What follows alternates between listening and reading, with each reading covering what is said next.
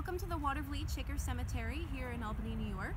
We are right along Heritage Lane, which eventually leads you to uh, the Shaker Heritage Society and the airport. You might be able to hear that airplane flying overhead. Um, I'm sitting here with Mother Lucy Wright. She was one of the original leaders of the community here at Watervliet. So she did indeed know Mother Ann, and Mother Ann cultivated her to eventually become the leader here at um, the Watervliet Shaker site. For several years, she actually was the co-leader with Father Joseph Meacham, and after his death, she continued on as the sole leader of the Shakers uh, in Mount Lebanon, which was the head Shaker site, for over 25 years. And then she came here at the end of her life, which is why she is buried here at Watervliet and not anywhere near Mount Lebanon. And in honor of Halloween, we are here to teach you how to clean a headstone. So there are a couple steps in cleaning, in properly cleaning a headstone. Uh, we were lucky enough to learn from a conservator based in Cooperstown, New York. The first thing you're going to want to do is give the headstone a good spray of water. So we have these handy dandy sprayers here. So you'll just give it a good soak all around. You want to make sure to get the front and the sides and the top and the back.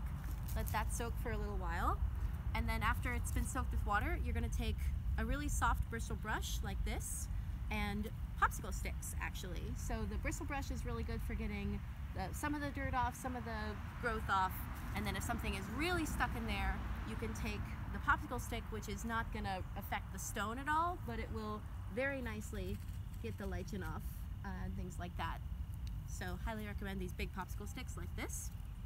After a brush and a popsicle sticking, you're going to take this product called D2, which is a biological solution that you can purchase online or in most hardware stores and we recommend putting it in a sprayer just like this.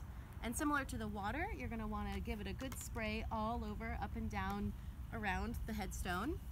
Let that soak for a few minutes, let it really do its work. And then you're gonna give it another spray of water before using, highly recommend using a second brush that's not been used before. So you can have one brush that's dry, one brush that's wet, and giving it another brushing and popsicle sticking if need be and then rinse and repeat. More water, more D2 as needed. This is unfortunately not the best day for cleaning. You really want a nice sunny day because the sun will really help the, the biological solution soak in the headstone and get it nice and clean.